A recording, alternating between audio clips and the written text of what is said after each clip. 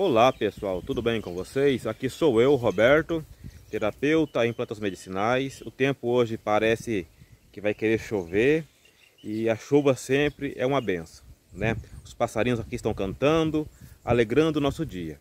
Mas eu quero falar para vocês que eu gravei um vídeo alguns dias atrás mostrando algumas plantas que tratam inflamações intestinais. Se você tem problemas com inflamação intestinal, eu mostrei para vocês como fazer o chá e algumas plantas que são indicadas para inflamações intestinais, tá certo? E eu quero compartilhar novamente essa informação, mostrar para vocês novamente esse vídeo e peço a vocês assistam o vídeo e vejam que as plantas podem transformar você desde que você também tenha a atitude de fazer uma alimentação adequada, tá bom? E as plantas que eu vou mostrar para vocês, vocês vão ver que é plantas de excelente qualidade. Plantas que minha esposa colhe, ela lava, ela seleciona, ela seca na sombra, empacota manualmente.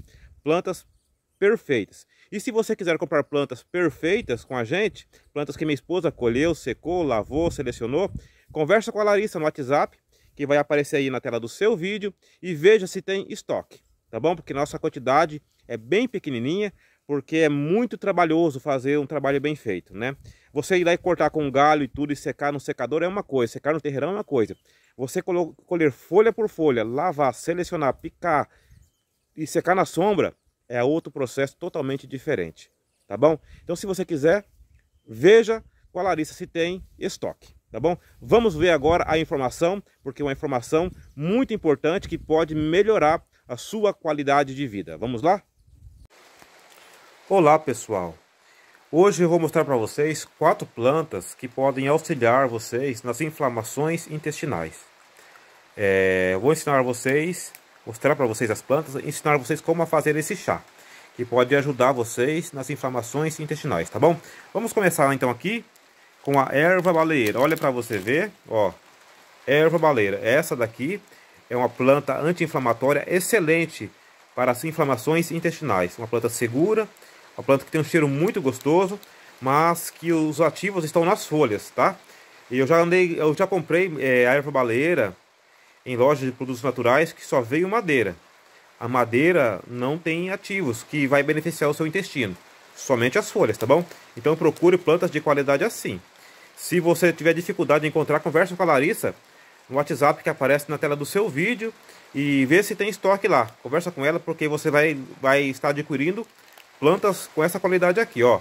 Então a primeira planta, erva baleeira, um anti-inflamatório excelente para as inflamações intestinais. Qual é a outra planta?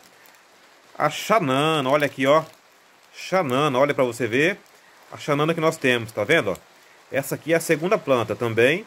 Uma planta, é uma flor ornamental, uma planta lindíssima, tem várias outras finalidades, além de tratar o intestino mas para o intestino ela é muito boa.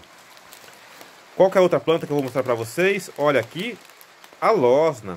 A losna ela é uma planta amarga, mas ela é excelente para toda a função de, do, do, sistema digestivo. Ela melhora tudo no sistema digestivo, tá certo? Ela é realmente ela é um, anti, um anti-inflamatório excelente para todo o sistema digestivo, a losna, mas é uma planta amarga mas também é bastante eficiente para tratar problemas intestinais, inflamação intestinal. E a outra planta, o alecrim. Esse aqui é o alecrim tempero, o rosmarino officinalis. Nós usamos muito para tratar é, depressão, sabe? Depressão, ansiedade, nós gostamos muito de utilizar o alecrim. Mas para o intestino ele também é excelente, analgésico, anti-inflamatório, combate cólicas, né? Então, esse daqui é o alecrim. Então, qual, quais as plantas que eu estou indicando para vocês hoje? Faltou o gervão, gente. O gervão eu não tenho agora, né? Mas, ó, alecrim, losna, xanana, erva baleeira. Como é que você vai fazer o chá com essas plantas aqui? Você coloca meio litro de água para ferver.